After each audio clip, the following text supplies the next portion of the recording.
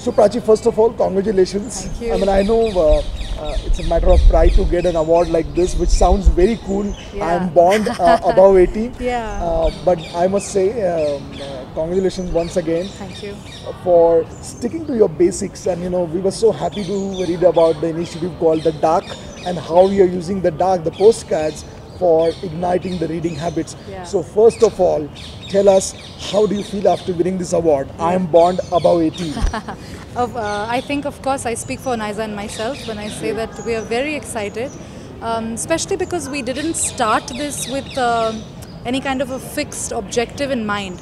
Uh, we ourselves are very passionate about this work and we just wanted to share it with as many people as possible. That's nice. So to be recognized for something that you know we didn't uh, inte- we didn't know uh, the audience that it would reach or the impact that it would have. Um, so it's really nice to be recognized for it, and uh, it's very humbling to uh, share share this award uh, with so many wonderful people who are leading such amazing initiatives.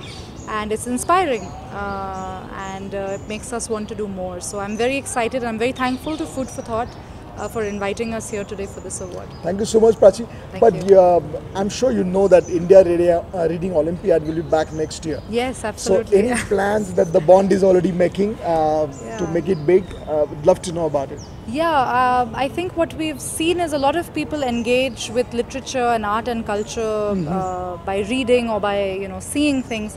Uh, but some people also engage in a more tactile way. So what we're exploring now is doing events where people can listen to poetry. Okay. Uh, they can engage with artwork. Um, and that's something we're interested in doing because one is that it appeals to a much wider audience. Uh, and I think this kind of an engagement is also interesting for a younger audience. Very nice. So yeah, we're looking to develop this further, and uh, we would love to be back here, obviously. I wish you good luck. Thank Uh, you. but Prachi, before um, uh, I leave you, and I know Yeah. where you have a flight to catch for Mumbai. Yeah. Uh, we really wish to know uh, whether the postal department knows that you guys are using postcards for your initiative. Well, the the post office next to my house knows because I'm Okay. sending tons of postcards all the time. Uh-huh. Uh, but uh, no, sadly, it's I mean it's it's sort of like a dying art. And that's what we wanted to do is to revive that to get people excited nice. about sending physical post to each other. So hopefully they'll take notice. Uh, we'll Perfect. I heard a lot that it brings smile on people's face when they receive a postcard. Yeah, but. Uh, wish you many more, Prachi. Thank uh, wish you you. good luck. Thank uh, you. We'll see you next year. Yes, for sure. And uh, I'm sure you'll uh, get more awards. Thank you. Many All the thanks. best.